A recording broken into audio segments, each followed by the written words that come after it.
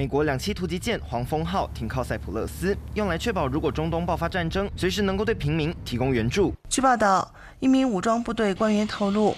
演习于九号开始，在靠近伊拉克边境的西部省份库尔曼沙省进行。伊朗近日动作频频，国内激进派组织伊斯兰革命卫队也开始长达五天的军事演习，并表示伊朗即将执行最高领袖哈米尼命令，严惩以色列。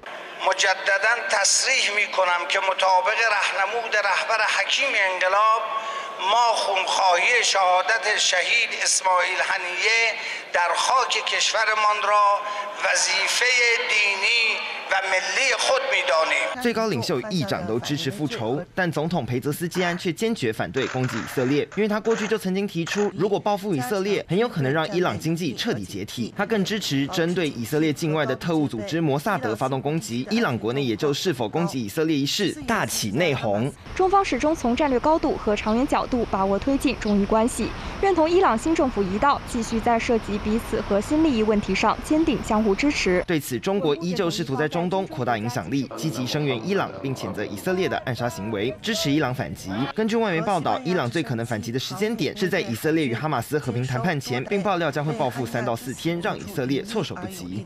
哈马斯因此呼吁斡旋方，根据此前美国总统拜登的提议和联合国安理会的相关决议，提交一份实施计划。